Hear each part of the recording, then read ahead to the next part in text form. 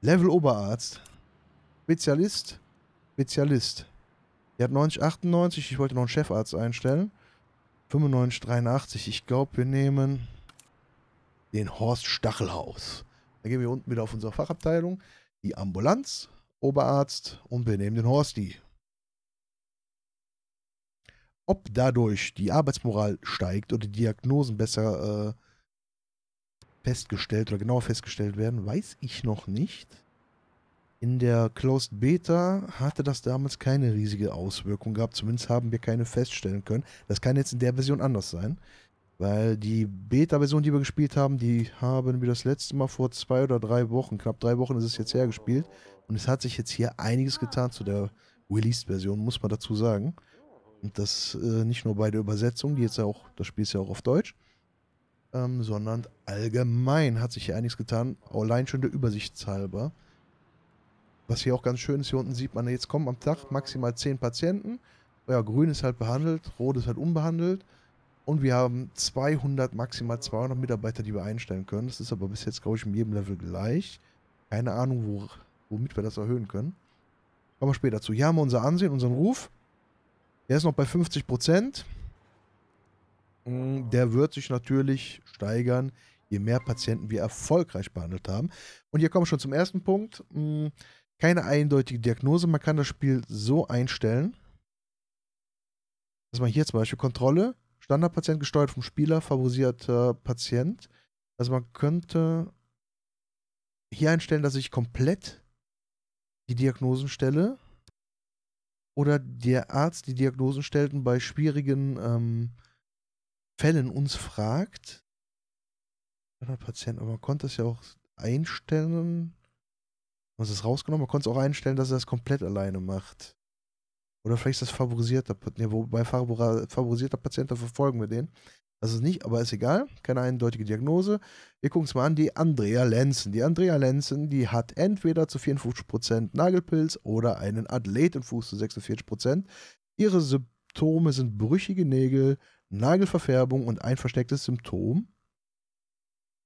Das äh, brüchige Nägel, Nagelverfärbung spricht ja sehr für Nagelpilz, aber da haben wir eh 54%. Mykologische Probenentnahme, wir haben noch kein Labor. Können wir trotzdem nehmen, verschicken die dann ein. Sammeln Sie eine spezielle Probe vom Körper des Patienten, um diese auf eine bestimmte Pilzart zu untersuchen. Okay, geht auch ohne Labor scheinbar. Differentialdiagnose, okay. Also wir, wir können jetzt hingehen und sagen, pass mal auf, finale Diagnose, Nagelpilz, gib ihm, mache ich jetzt gleich auch. Oder wir könnten sagen, ah nee, komm, ich bin nicht ganz sicher, wir machen jetzt, wir nehmen mal eine mykologische Probe und schicken die ein. Wir können auch noch hier sagen, ähm, verfügbare Behandlung, ah ja, komm, du kriegst auf jeden Fall Fußcreme, Überwachung, ah, brauchen wir eigentlich nicht. Du hast Nagelpilz, so, das ist die Diagnose, Nagelpilz. Und sie kriegt jetzt von uns Fußcreme, damit der Nagelpilz von dannen zieht, sozusagen. So, dann hätten wir schon unseren ersten Patienten oder unsere erste Patientin hoffentlich geheilt. So, sie kommt, ist auch wieder kein so starker oder schlimmer Fall. Sie zieht sich eine Nummer. Kann man es eigentlich sehen? Ja. Ding. Arzt hat Zeit, Arzt ist frei und eigentlich sollte sie jetzt äh, aufstehen und ja, doch, du wurdest gerufen. Ah, dauert was länger. Der hat gedacht, das ging jetzt so schnell, ich will noch ein bisschen sitzen bleiben. Man ist es ja gewohnt, so beim Arzt erstmal eine Zeit lang zu sitzen in der Regel. So. Vielleicht sollte ich den auch mal einen Stuhl bauen, ne? Natürlich nicht ganz so schön. Das haben wir relativ platzsparend gebaut. Man hätte ja auch den Schreibtisch so setzen können, dass der Arzt mit dem Rücken zur Wand sitzt und gegenüber dann ein Stühlchen. Aber Krankenkasse kann unter Vertrag genommen werden. Jawohl, machen wir mal öffnen. Ach, guck mal hier. Oh, hier sind einige Sachen dazugekommen. Das war vor ein paar Tagen, sah das noch anders aus, wobei wir Kampagne gespielt haben, muss ich dazu sagen. Nicht versichert. Bonusaufgabe 1 von 15, also behandelt 10 Patienten pro Tag, dann bekommen wir einen staatlichen Zuschuss als Belohnung von 20.000. Parmaduk. AOKA. Die Gesundheitsklasse Vita Plus, Herzenkasse und Neuromed. Wunderbar. Also die will ich jetzt noch nicht aktivieren. Ich weiß gar nicht, ich denke mal, dass es geht. Machen wir natürlich nicht, weil jetzt direkt eine Neurologie eröffnen wird ein bisschen hart. Chirurgie machen wir auch später erst. Also wir behandeln erstmal 10 Patienten. Also wo wir schon mal hierbei sind. Hier können wir uns natürlich auch äh, später Krankenwagen, wenn wir welche gekauft haben, uns anschauen. Das Budget, hier können wir uns einen Kredit nehmen. Hier bei den beiden und sehen, welche Fachabteilungen was einnehmen, welche Ausgaben wir haben, ob die Plus machen oder nicht. Unsere Bilanzen. Hm, vom, äh, von den Patienten, die wir behandelt, sprich nicht behandelt haben, die stationär oder ambulant ähm, behandelt worden sind, vom Personal und unsere Abteilung noch einmal. Wie der einzelne Ruf der Abteilung ist, man könnte hier auch schließen, wer das dann möchte. Okay, wir machen weiter. Ereignisse werden, glaube ich, ja später freigeschaltet, wenn wir eine gewisse Größe oder eine Anzahl an Aufgaben erfüllt haben. Hier auf Pause? Ich habe auf Pause, okay. So, der erste haben wir geheilt. Wunderbar, da kommt schon unser dritter K. Uh, der ist ein schwieriger Fall. Da ist ein schwieriger Fall, der muss erstmal nachfragen. Ich sollte vielleicht mal Stühle bauen, ne? Pass auf. Das machen wir jetzt mal schnell. Ich habe ein schlechtes Gewissen beklickt. Nein. Nein. Man kann die Sachen übrigens auch wieder aufnehmen, wie man gerade sehen konnte. Ach, mal so.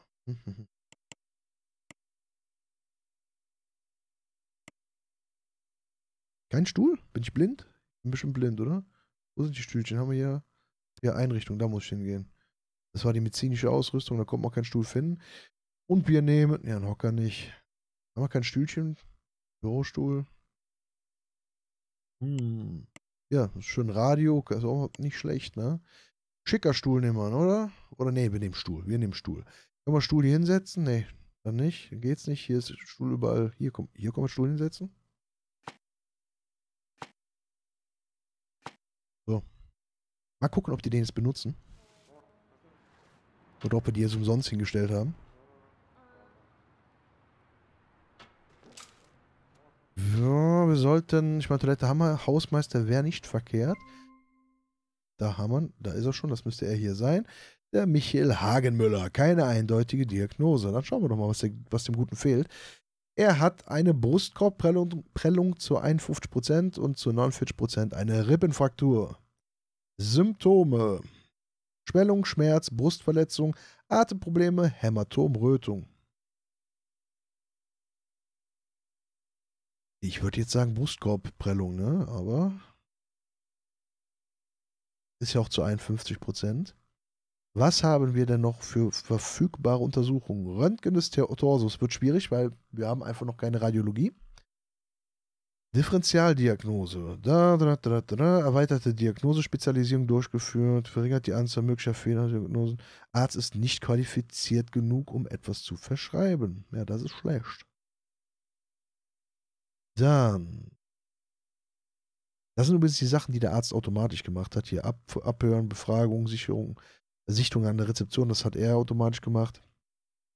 Körperliche Untersuchung. Also wir können jetzt sagen, pass auf, wir gehen jetzt mal auf Risiko, Brustkorbprellung. Hm,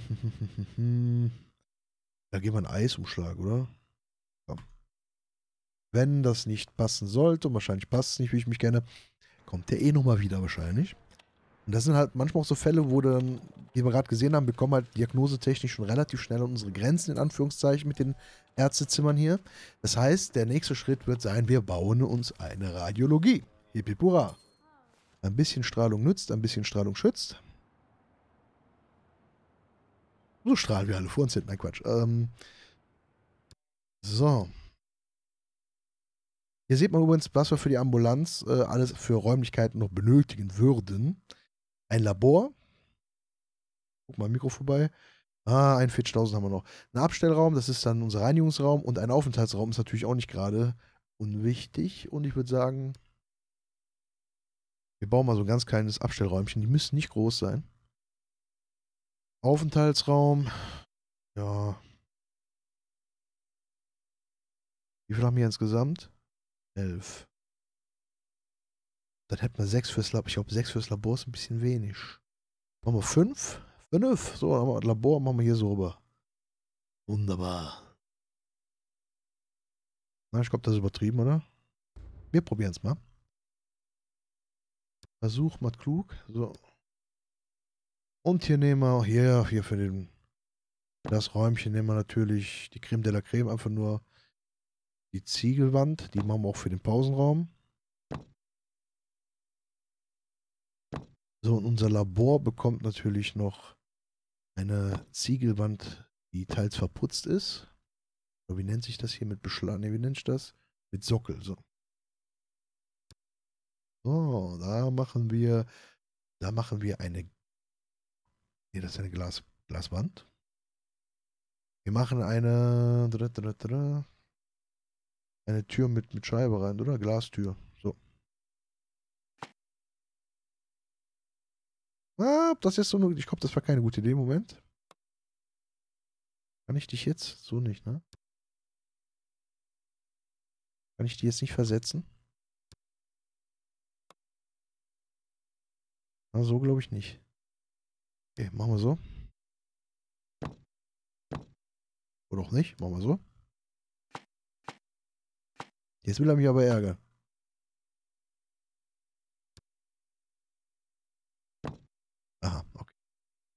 Dann eben so. Wir, ich setze die Tür nochmal gerne ein, also ein Feld Abstand von der Wand. Äh, ach komm, so. Hat halt den Vorteil, dass wir hier in der Ecke immer nochmal einen Mülleimer oder sowas setzen können. So, dann guck mal, was brauchen wir? Wir brauchen einen Mülleimer. Biologischer Abfall, nehmen wir natürlich den schönen roten. Wir benötigen einen PC, einen Probeschrank. Den Probeschrank, den setzen wir hier hinten in unser Kühlschrank einen Computer. Da brauche ich auch einen Computertisch. Wäre von Vorteil, wenn ich ihn jetzt doch sehen würde, da ist ein Gerätetisch.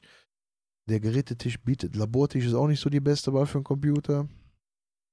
Haben wir jetzt echt keinen? Ist geändert? Früher konnte man hier Brottische reinstellen. Okay. Na gut. Dann nehmen wir, ich gucke mal, ob wir den Labortisch nehmen können. Können wir da Computer draufsetzen?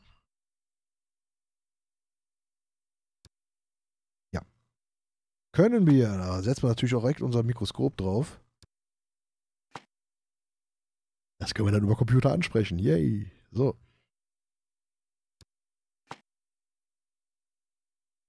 Eigentlich könnte er auch dahin rücken, ne? Na komm.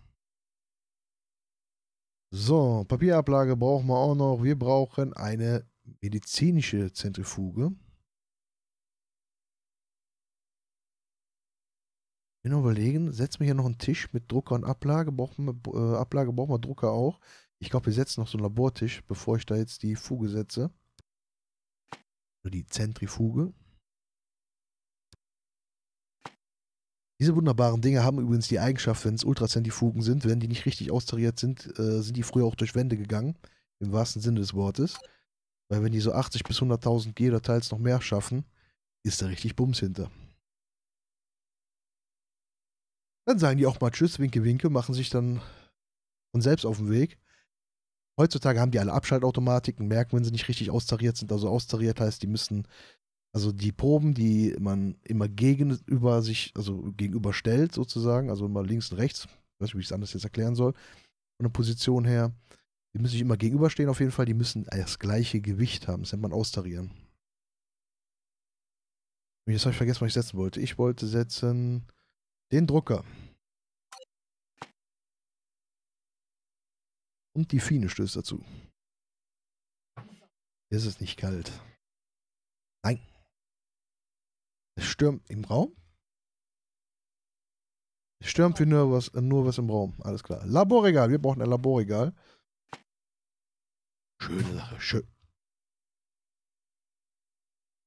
Die kommt hier rein, die mäht alles kaputt. Ne? Die macht direkt alles kaputt. Komm, geh weg mit dem Ding jetzt. So, jetzt passt nicht mehr hin. Spüle. Ah, Spüle. Ich merke gerade, ich habe das Labor viel zu groß gemacht. Ah, ist egal. Kann man nie genug von haben, von solchen. Äh, äh, vom Platz in solchen Räumen. So. Das geht nicht? Das ginge. Okay. So. Wir wollen hier. Na komm schon, kann ich nicht drehen? Na gut, dann setzen wir den so. Glasgefäße, die hauen wir hier hin. Wunderschön. Ein Laboranalysegerät, was auch immer das für eins ist. Multi-Analyzer, okay. Untersuchen verschiedener biologischer Substanzen und Proben. Interessant, interessant. So. RIA ist was? Radio-Immunoassay.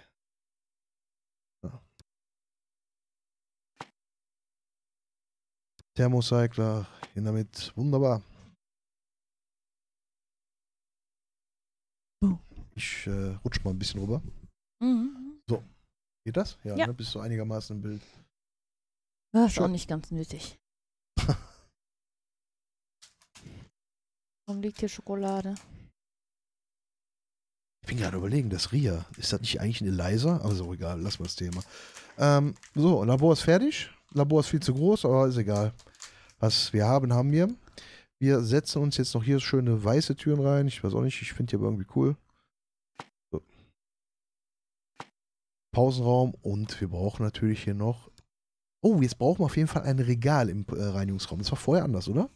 Erinnerst du dich noch? Ich meine, vorher Nur Wagen. nur Wagen, ne? Ich meine Mhm. auch. Das ist jetzt anders. Ich hatte damals mal im Forum gefragt während der Beta-Phase, ob es einen Unterschied macht. Oh, das war nicht gut. Da kommen die nicht ran so. Nein. Ob es einen Unterschied macht, ähm, ob der Reinigungsraum nur die Wagen hat oder auch noch ein paar Regale. Naja, ich, so, wir hatten damals in der Beta nicht das Gefühl, dass ein größerer Raum und äh, besser bestückter Raum zu besseren Reinigungskräften oder schnellerer Reinigung führt. Aber nun gut. So, das sollte reichen. Yay! Du bist demuted, ne? Ja, ja, man sollte mich hören. Ich soll doch ab und zu mal gucken, ob der Stream noch läuft. Aber ist gut. Eben lieber noch. Ja, ja, ich habe nee, dir ich, zugeguckt äh, und du hast mich ignoriert. Ich habe doch Hallo gesagt. Habe ich nicht gehört. Ja, da hast du, Du hast mich nur- igno- Du hast nur kurz Hallo gesagt und bist gar nicht weiter auf meine Fragen eingegangen. Heute so allein hast du geschrieben. Ja. Ja, das, äh, Hättest du ja wenigstens mal machen können. so. Sofa muss rein. Ja, überlegen, Bücherregal muss auch rein. Das ist alles Also- schon falsch, ne? Ist das auch gut? Ja, ich würde schätzen, das war ein Kind von oben. Soll ich mal gucken gehen? Ja, wird schon. Es legt sich wahrscheinlich zum anderen Kind. Aber, ähm, es- Kind aber 1 zu Kind 2, ja, so ist das halt. es stürmt hier aber wirklich draußen sehr. Ich weiß nicht, ob man das hier auch hört. Die Rollladen gehen wie bescheuert. Es ist stürmisch. Also ich höre gerade gar nichts, wenn ich ehrlich bin. Und es ist übrigens, der Spielesound ist nicht so leise. Es gibt einfach außer diesem Sound vom Setzen der Dinge, es gibt einfach keinen Sound. So. Wir können eigentlich auch mal. Okay, also er pausiert automatisch, sobald ich baue. Ich sollte mal ein bisschen hinmachen. Wir brauchen hier noch ein schickes Schließfach. Oh, ist das schön. Oh. Wunderschön. Kommt kein Platz ist für einen Stuhl doch da, oder? Da, ist, da geht ein Stuhl noch hin. Warum wir auch immer einen Stuhl unter Die das wollen Sofa aber den Stuhl da vor dem Tisch haben. ist mir doch egal. Nein, die kannst du ersetzen. Ach so. Ich setze doch da. Nein, das ist. Nein. Ja, komm. Doch, da kann einer dann die auf dem Sofa sitzen. Nein. Einer kann sich genau vor den Fernseher vorne setzen. Wieso kann ich ja keine Kaffeemaschine. Ah, so, okay. So. Cool, ne? Würde ich sagen. Setzen wir noch mal schnell einen ins Labor rein. Wie viel Geld habe ich eigentlich? 24.000 habe ich noch, alles gut. So, wir brauchen einen fürs Labor. Nimm einen billigen. Ein MSc, Master of Science, kann man nehmen. Ist natürlich nicht verkehrt. Oder wir nehmen halt eine TA. Biochemie hat der gute 3467. Fortgeschrittene Biochemie, Cardio, Kardiologieassistent brauchen wir nicht. Ich wäre ja für Master? den Master oder ihn hier. Beide haben zwei versteckte Fähigkeiten und Eigenschaften. Frisches Eltern. Okay, wir nehmen ihn. Die kommen nur unausgeschlafen zur Arbeit. Ja, und die ich- waren immer zu spät. Ich spreche da aus eigener Erfahrung. So. Stimmt auch nicht. Was, was denn? Am Anfang. Am Anfang ja, natürlich, weil bei, ach, da stand ja frisches Elternteil, ja. Ja, so ist das halt. Am Anfang fehlt halt ein wenig Schlaf. Was hat sie jetzt? Na, okay, aber. Er hier kommt zu spät. Ruhelevel, Ruhe, Ruhelevel sinkt langsamer. Dann lass uns den auch noch nehmen, oder? Er kommt ja nicht jedes Mal zu spät. Komm, du bist zwar kategorisch gegen solche Leute, die einen langen Arbeitsweg haben. Ich bin da nicht so hart. Ich bin auch gegen schmutzige Füße. Und gehen jetzt, achso, die gehen nach Hause, weil äh, nichts zu tun ist. Keine eindeutige Diagnose. Wir gehen zu Barbara Schart. Komm, Babsi, was haben wir? Die Babsi hat mögliche Diagnosen. Eine einfache. Radiusfraktur. Ja, ich war eigentlich da oben. Humerus, wird das richtig, ist das richtig ausgesprochen? Humerusfraktur? Ulna-Fraktur? Eine Armprellung.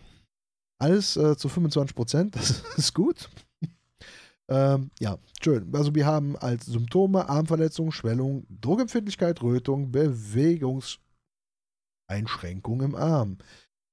Äh, da,